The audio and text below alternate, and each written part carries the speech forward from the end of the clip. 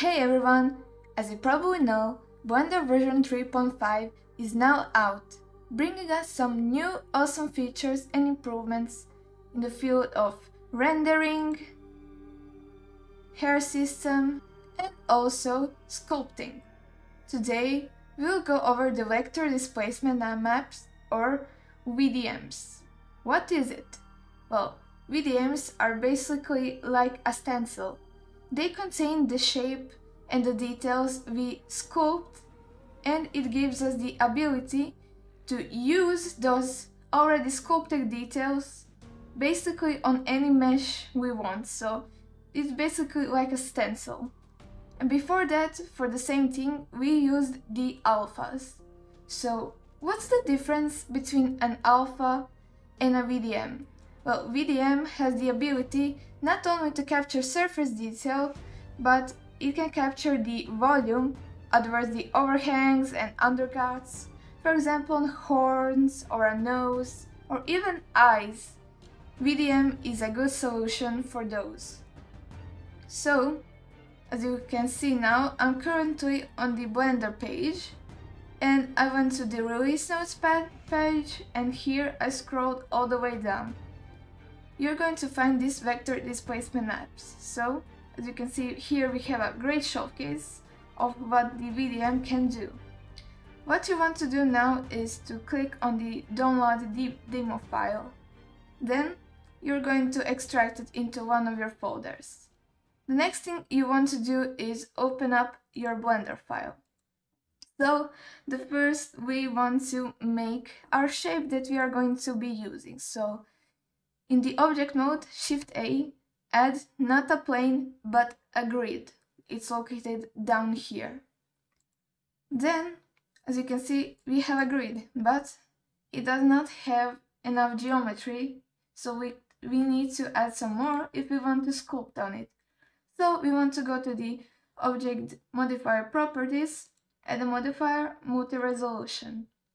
And now we don't want to click on the subdivide button because you can see the edges get subdivided as well.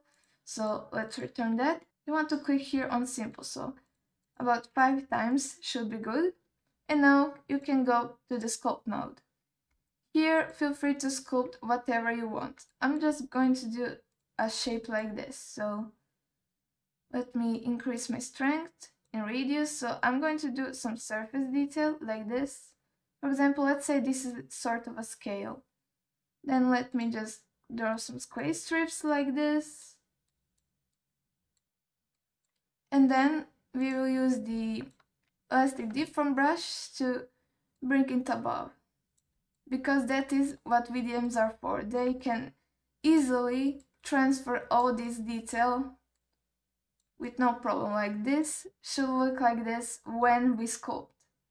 Okay, and now that we are done with sculpting, what we want to do is append a material that we are going to be using for baking from the file that we downloaded from the Blender page. So, once you have extracted the file, you want to go back to Blender file, then you want to press on the append button.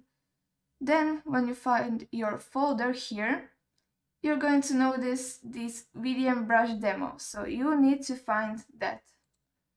And in there, you can see there are multiple folders. You want to click on the VDM creating brushes, then on the VDM manual baking demo, and we are going to be presented by a bunch of files. You want to select on the material one and here select the VDM baking material and append.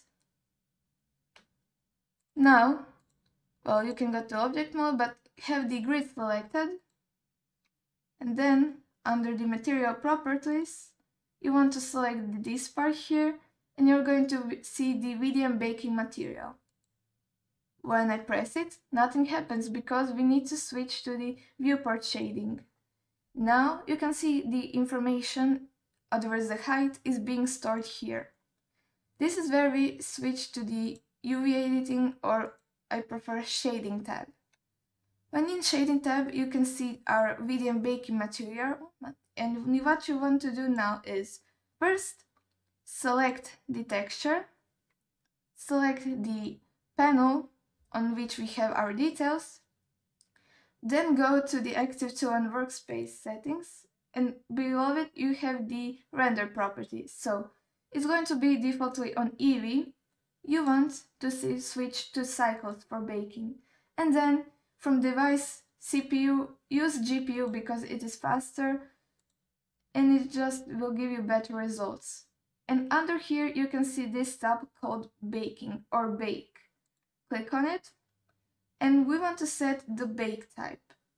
We're going to be using the emit bake type.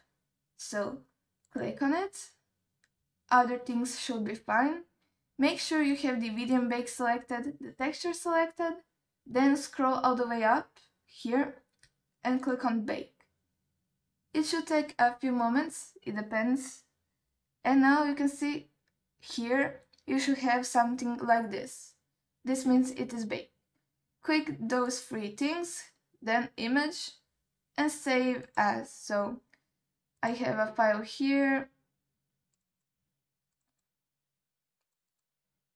Let's name it point three, save as an image. Now our baking material exists. We can hide or delete this. I'm just going to hide it. Let's add a simple cube. Then let's do the same thing we have done for the grid. Use the multi-resolution, then simply subdivide it a bunch more times, like 7, 8. Go to the sculpt mode. Now, you want to make sure you do all these things. You want your brush to be selected on the draw brushes. Otherwise, use the scope draw brush. Then, under texture, you should have selected this on tiled. Nope. You want to change it to area plane, which is the only mapping option that gives you the ability to enable vector displacing. Okay, now once you enable that, another thing you want to do is go to stroke. From the space method, select anchored. That is just how you're going to draw. And it's easier for you to just drag a detail you want than to paint it. And now you don't want to go here, but you want to go to the texture properties, click on new, and then click on open. Here you want to find your VDM you want, open the image, and now you should have VDMs and they will be working perfect. As you can see, these are very detailed and if you have less detail here than you had on your VDM, do not worry. Increasing the resolution on your object will also increase the resolution of VDMs. Hope you find this useful and thank you for watching. Please consider sharing, subscribing as well and see you in the next video. Bye bye!